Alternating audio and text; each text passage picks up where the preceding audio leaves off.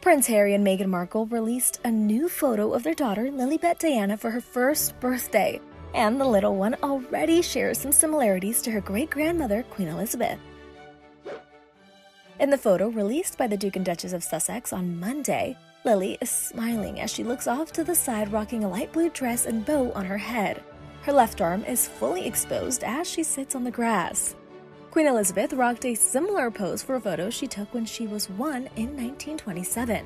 In the black and white snap, the Queen is also wearing a dress as she smiles and poses to the side. And it appears Lili has inherited Harry's trademark red hair too.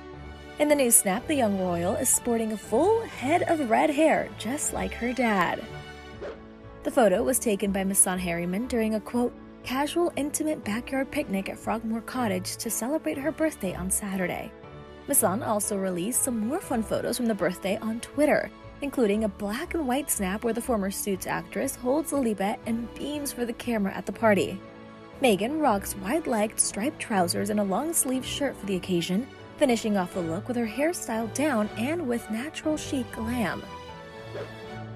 The couple was in the United Kingdom with Lilibet and their three year old son Archie to celebrate the Queen's Platinum Jubilee weekend, commemorating her historic 70 years on the British throne.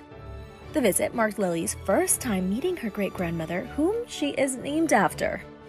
The trip also marked Meghan's first time to London in two years, following her and Harry's decision to step down as senior working royals and move to California. During their visit, they made two public appearances one on Thursday for Trooping the Color, and another on Friday for a Thanksgiving service in honor of Queen Elizabeth.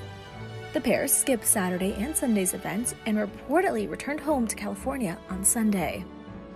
Access Hollywood previously spoke with DailyMail.com's Charlie Livingston about how the Duke and Duchess of Sussex are perceived in the UK after leaving to live across the pond.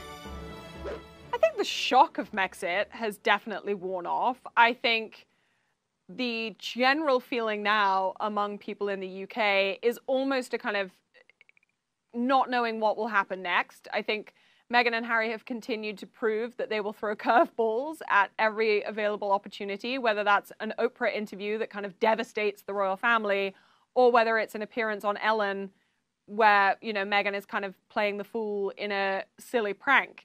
Um, so the shock, yes, definitely worn off, but the apprehension is still there. I don't think anyone knows what they're going to do next. And that still means there's a little bit of fear within the royal family, especially. You know, they're kind of, they've almost become like the Thomas Markle. You know, there was a time where no one knew what Thomas Markle was going to say next, what he was going to do next, what TV show he was going to appear on next. And I think Harry and Meghan have now kind of prompted that same feeling in the UK and especially within the royal family. And I can imagine that behind closed doors, Buckingham Palace's most senior advisors are still very nervous about what the two of them could say next. We obviously know that Harry is planning on writing a book, and there is a huge amount of fear about what might be written in those pages. So we just have to wait and see.